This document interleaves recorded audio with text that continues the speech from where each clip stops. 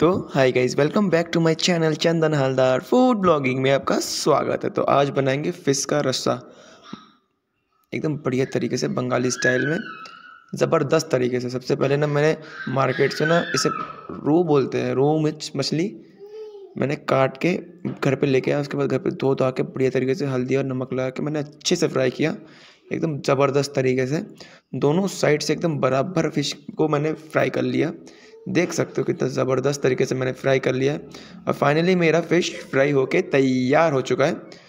बस अब कढ़ाई में वेजिटेबल डालने की तैयारी जारू हो चुकी है। तो मैंने कढ़ाई में सबसे पहले सरसों का तेल डाला है। तेल को मैंने अच्छे से गर्म कर लिया था कढ़ाई को सॉरी उसके बाद मैंने जितने भी वेजिटेबल्स हैं, आलू, टमाटर और मटर मैंने इस सारे चीज़ को मैंने काट के धो धा के बढ़िया तरीके से साफ़ कर लिया तो उसके बाद मैंने कढ़ाई में जीरा और खड़े मसाले और तेज पत्ता बढ़िया तरीके से डाल के उसके बाद मैंने जो वेजिटेबल काटे थे, वो बढ़िया तरीके से मैंने इसमें डाल दिया है। अब मैं क्या बताऊँ यार? लाजवाब। तो उसके बाद मैंने इसे अच्छे से फ्राई कर लिया। फ्राई करने के बाद अब मैं इसमें डालूँगा हल्दी। उसके बाद स्वाद अनुसार नमक। अब चाहो तो नमक को ज़्यादा भी कर सकते हो, कम भी कर सकते हो, वो तो तुम्हारी मर्ज़ी है। उसके बाद मैंने जीरा पाउडर डाल दिया, उसके बाद लाल मिर्च पाउडर। अब इसे हम अच्छे से मिक्स कर लेंगे, बढ़िया तरीके से, ज़बरदस्त तरीके से एकदम उल्टा पलटा के, एकदम चारों साइड से मसाले को लपेट देंगे पूरा वेजिटेबल्स के साथ। ज़बरदस्त। तो हमारी वाइफ ने ना सिलबट्टे में प्याज, लहसुन, अदरक को बढ़िया तरीके से पीस लिया था। अब अब पता है ना सिलबट्टे में पीसने का मज़ा ही कुछ अलग आता है। टेस्ट ही कुछ अजब, गजब का आता है। अब इस टेस्ट का कोई जवाब नहीं है, लाजवाब टेस्ट है ये। तो सबसे पहले ना अदरक को सामने बिन बिन के एकदम सबसे पहले अदरक को बढ़िया तरीके से एकदम बारीक करके पीस लेंगे। उसके बाद जो लहसन और प्याज है, उसे दरदरा करके पीसेंगे। अदरक को बारीक करके क्यों पीसेंगे? अदरक जब मुँह के ऊपर फंसता है ना तो बहुत बुरा लगता है मुझे। मुझे तो बहुत बुरा लगता है, पता नहीं आपका कैसे लगता होगा। तो सबसे पहले अदरक को ना बढ़िया तरीके से बारीक कर लेंगे। उसके बाद ये जो हमने गार्लिक सिलबट्टे पीसा था, उसके बाद ऐड कर लेंगे सब्ज़ी में, बढ़िया तरीके से। तो इसे अच्छे से मिला लेंगे, बढ़िया तरीके से। मैंने ऊपर से ऐड क्यों किया? क्योंकि ना, इंसान सबसे पहले तेल में भी ऐड करता है, सबसे पहले जब जीरा धनिया डालता है ना, उसके बाद ये गार्लिक पेस्ट ऐड करता है। तो मैंने इसे बाद में ऐड किया क्योंकि इसमें ज़्यादा खुशबू आती है, ज़्यादा स्मेल आता है। यही चक्कर है बाद में डालने का। तो इसे मैंने बढ़िया तरीके से मिला लिया है। बढ़िया तरीके से फ्राई कर लूँगा, एकदम आगे पीछे, ऊपर नीचे, सारा चारों तरीके से फ्राई कर लूँगा। उसके बाद मैं सुना देखो ये टमाटर ना गलना स्टार्ट कर दिया टमाटर ने अपना पानी छोड़ना स्टार्ट कर दिया।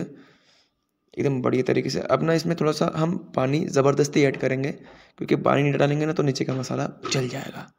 तो हमने यहाँ पर पानी डाल दिया। हमने पहले थोड़ा सा पानी को बॉयल कर लिया था तो इसलिए हमने दोबारा हम करके ज़्यादा करके पानी डालेंगे इसमें।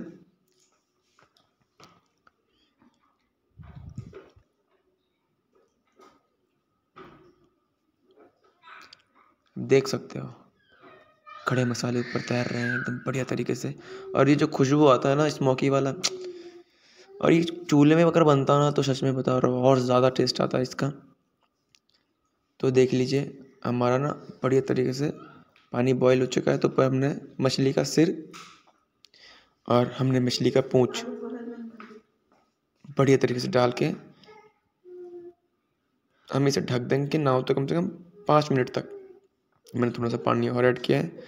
हम इसे पाँच मिनट ढक के उसके बाद दोबारा निकाल लिया हमने। तो देख देखिए बाकी के जितने फ़िश थे ना, वो सब इसमें हम ऐड कर लेंगे।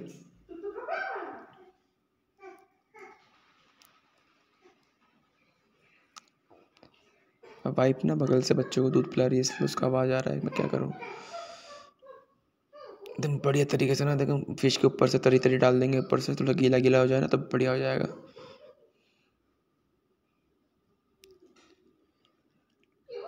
अब आराम से हम इसे ठक देंगे बढ़िया तरीके से। उसके बाद बात जारू हो गया गरम मसाले की बारी।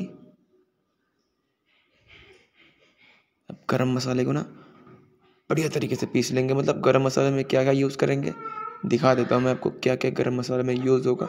ज़्यादा कुछ ऐड नहीं होगा, इसमें थोड़ा जावित्री, दालचीनी, छोटी इलायची और काली मिर्च तो हम डालेंगे नहीं, थोड़ा लौंग डाल देंगे। इसे बड़ी तरीके से पीस लिया है हमने, एकदम बारीक करके पीस लिया है। सिलबट्टे में ना सच में बताऊँ यार, ये का कोई लेवल नहीं है, सिलबट्टे का कोई लेवल नहीं है। मिक्सी में जितना ही पीस लो आप, पर सिलबट्टे का मज़ा तो सिलबट्टे में ही आता है।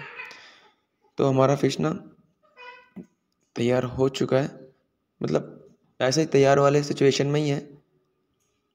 देख सकते हो कितना बढ़िया लग रहा है। तो ये जो हमने गरम मसाला पीसा था ना, अब इसमें हम ऐड कर देंगे। ज़बरदस्त तरीके से ऐड कर देंगे। गरम मसाला डालने के बाद में ना जो खुशबू आती है ना भाई। मज़ा आ जाता है खुशबू में ही। और साइड से ना थोड़ा आलू गला देते हैं ना इस पर सब्ज़ी का गाढ़ापन आ जाता है। तो फाइनली देख लीजिए, हमारा ये फ़िश ना एकदम तैयार हो चुका है। तो गाइस ये वीडियो आपको कैसा लगा?